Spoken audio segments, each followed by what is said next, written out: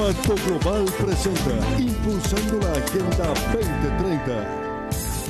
Garantizar una vida sana y promover el bienestar de todos a todas las edades es el gran objetivo del ODS número 3 de salud y bienestar de la ONU. Un desafío urgente debido a la pandemia que ha desencadenado una avalancha de problemas en salud mental.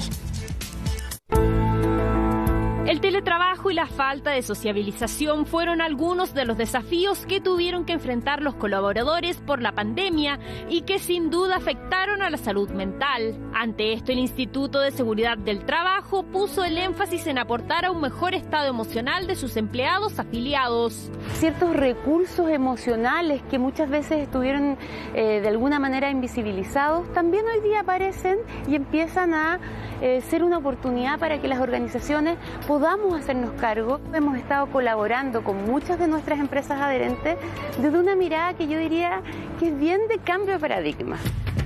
cambio de paradigma que busca una visión más integral del bienestar y que la corporación mutual buscó en el trabajo directo con los equipos y jefaturas. Hemos estado acompañando, eh, generando espacios de, eh, de, apoyo emocional directamente, espacios también de eh, ir acompañándolos en el entrenamiento y en la comprensión de lo que les está pasando emocionalmente y de habilidades. A la fecha, el IST ha realizado más de 20.000 conversatorios que buscan apoyar emocionalmente a los colaboradores y también a los líderes a cargo, como es el caso de la empresa adherida CGS Chile. Lo que veníamos haciendo en estos años, que tenía que que ver más bien con la salud física,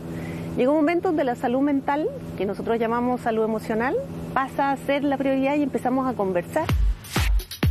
Trabajo en conjunto entre las compañías y el IST, al que se ha sumado la Universidad Adolfo Ibáñez, que hace tres años trabaja en un modelo de salud emocional. Hemos eh, intensificado en el último tiempo una mirada respecto de los indicadores de salud mental que tenemos en nuestra sociedad junto con poder eh, monitorear qué es lo que está pasando, ¿cierto? Estamos desarrollando también estrategias de intervención que nos permitan ampliar la perspectiva Alianzas por el Bienestar en el lugar de trabajo que busca ser sistematizado y que siente un precedente para tener a la salud mental como prioridad en las empresas. Bueno, y un trabajo que se vuelve cada vez más importante porque a medida que se supera la pandemia del coronavirus, se hace más presente esta segunda pandemia, que es la de la salud mental. Pacto Global presentó Impulsando la Agenda 2030